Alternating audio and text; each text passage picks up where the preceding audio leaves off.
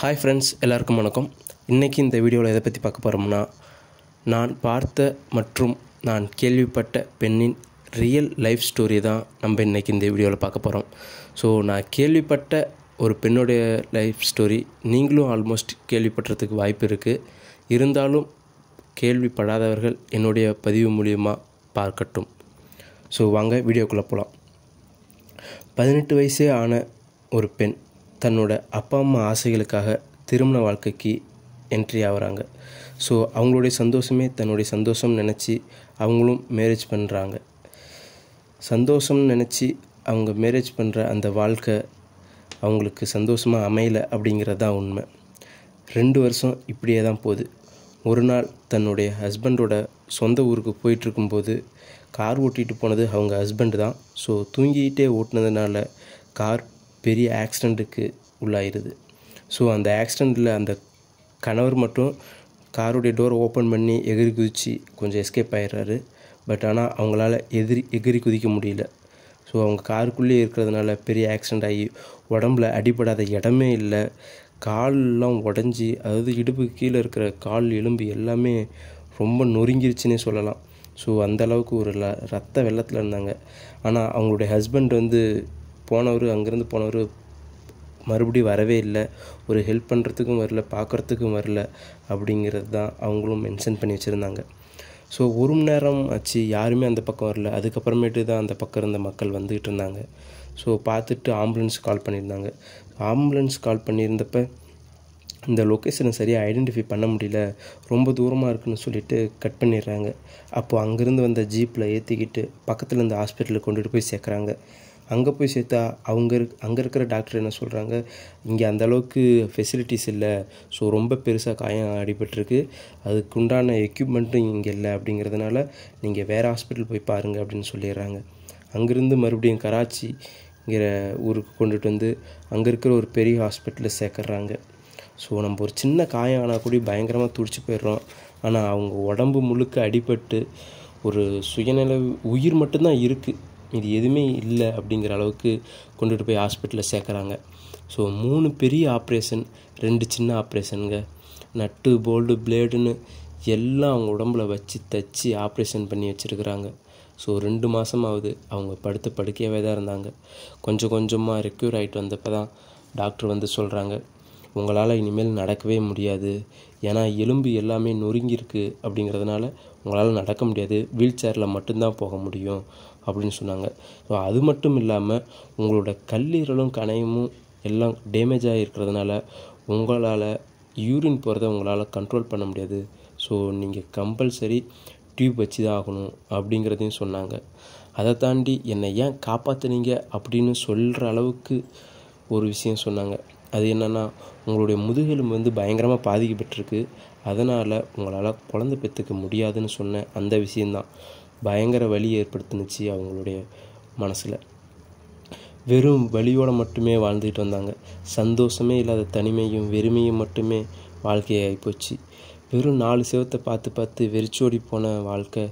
ஒரு நாள் அவங்களுக்கு ட்ராயிங் பண்ணுற ஹேபிட் இருக்குது ஸோ அதனால் அவங்க சகோ சகோதரன்ட்ட சொன்னாங்க இது மாதிரி எனக்கு பென்சில் கலர்ஸ்லாம் கொஞ்சம் வாங்கிட்டு வந்து தாங்க அப்படின்னு. ஸோ அவரும் வாங்கிட்டு வந்து கொடுத்தாப்புல. ஸோ பெயிண்டிங் பண்ண ஆரம்பித்தாங்க அந்த பெயிண்டிங்கால் அவங்களுக்கு பாராட்டும் பரிசும் வர ஆரம்பிச்சிது. ஸோ பாசிட்டிவ் தாட்ஸ் வர ஆரம்பிச்சிது.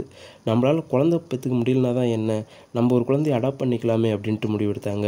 அது ஒரு ஆண் குழந்தைய தத்தெடுத்து வளர்க்க ஆரம்பித்தாங்க இப்பயும் வளர்த்துக்கிட்டு இருக்கிறாங்க.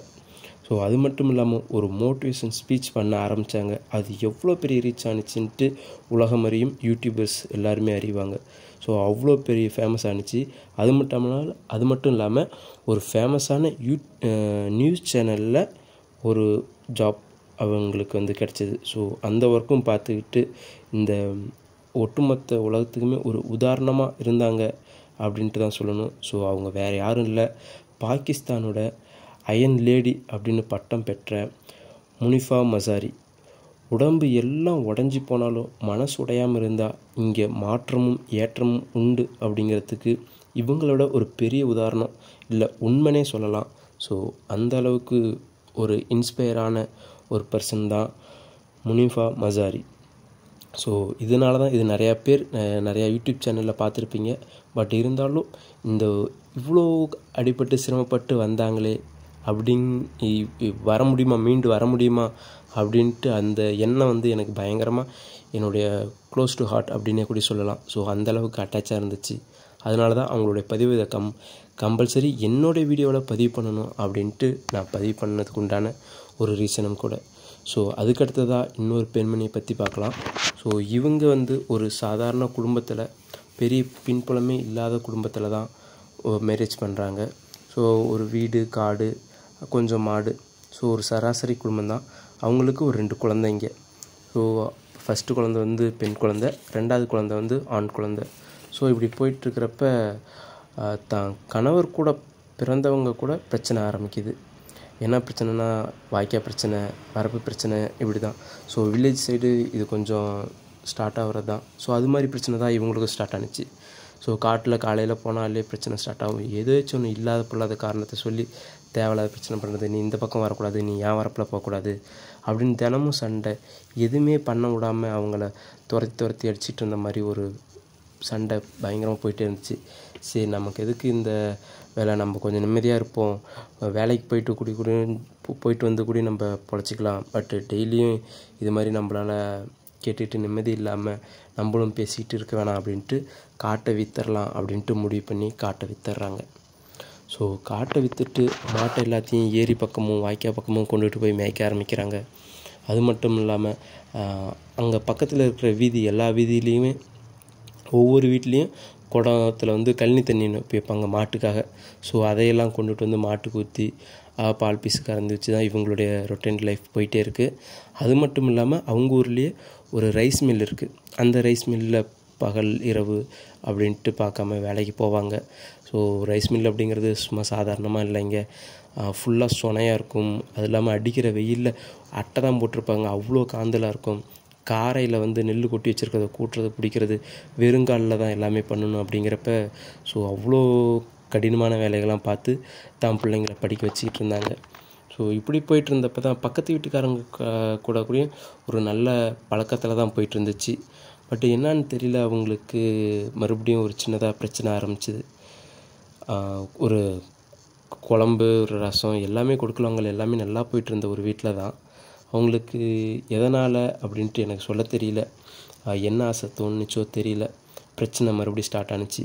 சின்ன சின்ன விஷயம்லாம் பெருசானுச்சு வாய் கலப்புலேருந்து கை கலப்பு வரையும் போயிடுச்சு அந்த கை கலப்பு போலீஸ் ஸ்டேஷன் வரையுமே போயிடுச்சு ஆடு மாடு எல்லாம் மேய்க்க முடியாமல் போலீஸுக்கு பயந்துட்டு எங்கேயோ போய் தலைமறைவாக இருக்கிறதும் தான் பிள்ளைங்களெல்லாம் இன்னொருத்தவங்க வீட்டில் விட்டுட்டு போகிறதும் அப்படிங்கிற மாதிரியே இருந்துச்சு.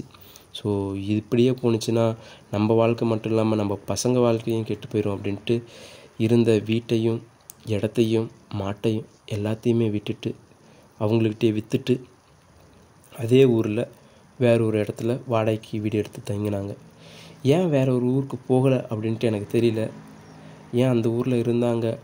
அது ஒரு வைராக்கியமாக இருந்தாங்களா? இல்லை வேற ஒரு ஊருக்கு போனால் நம்ம ஒரு சொந்த இடம் வாங்கிட்டு தான் போகணும் அப்படிங்கிற ஒரு வைராக்கியமாக அப்படின்னு கூட எனக்கு தெரியல. ஸோ எல்லாம் இருந்தும் இப்போ நம்ம எதுவுமே இல்லாமல் ஆகிட்டோமே. பணபலமும் ஆள் பலமும் இருந்தால் எதை வேணாலும் செய்யலாமா?